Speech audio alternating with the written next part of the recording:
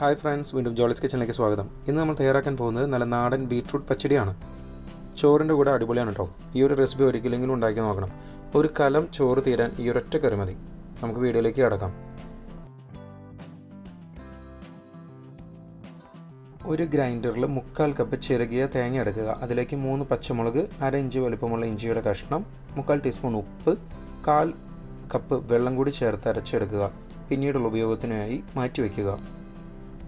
ഇനി ഒരു പാനിൽ രണ്ട് കപ്പ് അല്ലെങ്കിൽ ഇരുന്നൂറ് ഗ്രാം ബീട്രൂട്ട് വളരെ ചെറുതായി അരിഞ്ഞത് അല്ലെങ്കിൽ ഗ്രേറ്റ് ചെയ്തത് എടുക്കുക. ഒപ്പം ഒരു ടീസ്പൂൺ ഉപ്പും കാൽ കപ്പ് വെള്ളവും ചേർത്ത് തിളപ്പിക്കുക. വെള്ളം തിളച്ചു തുടങ്ങുമ്പോൾ മൂടി അടച്ചു വെച്ച് ആറേഴ് മിനിറ്റ് മീഡിയം തീയിൽ ചൂടാക്കുക. ഇടയ്ക്ക് ഇളക്കി കൊടുക്കണം.